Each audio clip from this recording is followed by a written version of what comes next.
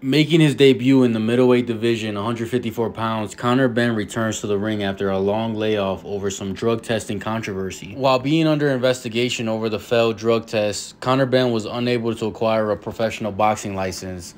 He was approved in the state of Florida and he made his return against Rodolfo Orozco, 32 wins, 3 losses. This was a 10 round fight the fight did go the distance. Conor Benn won a clear unanimous decision. Benn started off really strong, landing a lot of clean right hands, but since this was his first time in the division, I guess it was kind of both. You can see the, the long layoff kind of gave him some ring rust. It was taking him some rounds to get adjusted, and being that he's in a bigger division, he's fighting more durable guys now. His punches might not have the same effect as they did in his last weight class 147 good for him though to get a return and to get those rounds in. Before this fight before the failed drug test he was actually scheduled to fight chris eubank jr at a catch weight of i believe it was 157 pounds. I never thought that was a good fight for conor benn and i'm actually a fan of him but we just had the biggest fight at welterweight take place. There's one undisputed champion now, Terence Crawford. We're not sure who he's going to fight next.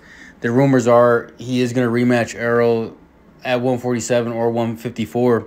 If Crawford was to just move up in weight and vacate all those titles, I feel like that division is going to be wide open. And there's plenty of good fights for Conor Benn to have at 147. Guys like Cody Crowley, Keith Thurman, um, Jaron Ennis, I'm not a big fan of catchweight fights to begin with, so I feel like with the performance that he just had, he, it could be ring rust, it could be the power not translating. I just feel like a fight at, at a catchweight of 157 against a, a, fighter like Chris Eubank Jr.